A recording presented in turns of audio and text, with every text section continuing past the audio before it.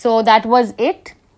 Students, I hope you're clear with the chapter and you enjoyed the chapter. So now these are a set of a few new words and their word meanings. You're requested to write these new words and the word meanings in your fair notebooks. Apart from that, you also have an assignment. The first two questions of the assignment talk about the character sketch of the two main characters of the story, for which you can refer to the very first video that was sent to you a detailed description about the both the about both the characters have been discussed in that video. So that was all in this chapter. Thank you very much students. Have a nice day.